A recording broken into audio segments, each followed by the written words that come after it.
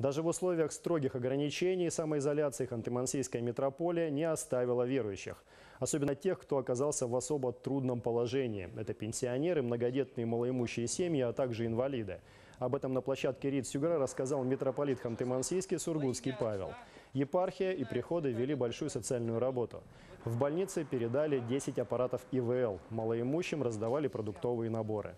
Кроме того, усилиями прихожан удалось собрать почти 6 тонн вещей для нуждающихся. Пандемия, она, я бы сказал, что, наверное, более сплотила сегодня вот в социальном э, служении э, между верующих, между собой.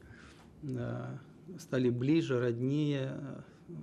Но всегда, наверное, какая-то беда или горе объединяла всегда наш народ.